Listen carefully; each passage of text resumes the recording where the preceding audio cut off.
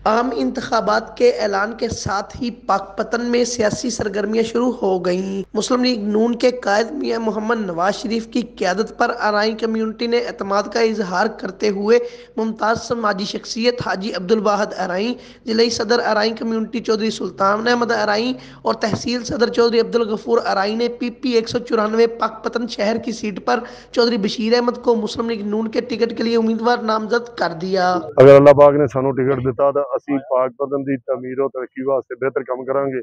ਔਰ ਸ਼ੋਧਾ ਦੇ ਬੱਚਿਆਂ ਵਾਸਤੇ ਕਰਾਂਗੇ ਗਰੀਬ ਲੋਕਾਂ ਵਾਸਤੇ ਕਰਾਂਗੇ ਜਿਹੜੇ ਗਰੀਬ ਲੋਕ ਆ ਉਹਨਾਂ ਦੇ ਜਿਹੜੇ ਬੱਚੇ ਆ ਉਹ ਸਾਡੇ ਕੋਲ ਪੜ੍ਹ ਰਹੇ ਆ ਜਾਂ ਮਜ਼ੀਦ ਹੋਰ ਹੋਣਗੇ ਜਿੰਨੇ ਵੀ ਡਿਸਟ੍ਰਿਕਟ ਪਾਕ ਪਤਨ ਦੇ ਬੱਚੇ ਆ ਉਹਨਾਂ ਦੀ ਅਸੀਂ तालीम का इंतजाम खुद करांगे तो मियाँ मोहम्मद नवाज शरीफ मुस्लिम लीग की क्यादत करते हुए पाकिस्तान को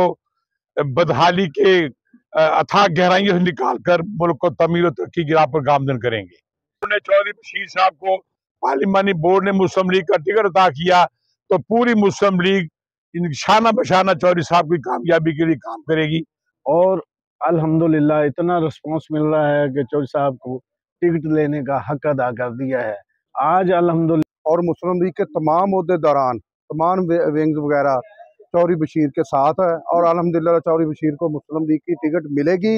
तकरीब में पुलिस के शोदा के वारसान में इमदादी रकम के चेक्स भी तकसीम किए गए, जबकि नून लीग के टिकट के उम्मीदवार चौधरी बशीर अहमद आरई ने पोजीशन होल्डर बच्चों में लैपटॉप तकसीम करने का भी ऐलान किया। तकरीब में मुस्लिम लीगी कारकुनान और अहदेदारान की बड़ी तादाद ने शिरकत की। कैमरा टीम के साथ हाफज मोहम्मद अनवार, के ट्वेंटी वन न्यूज़ पाकपतन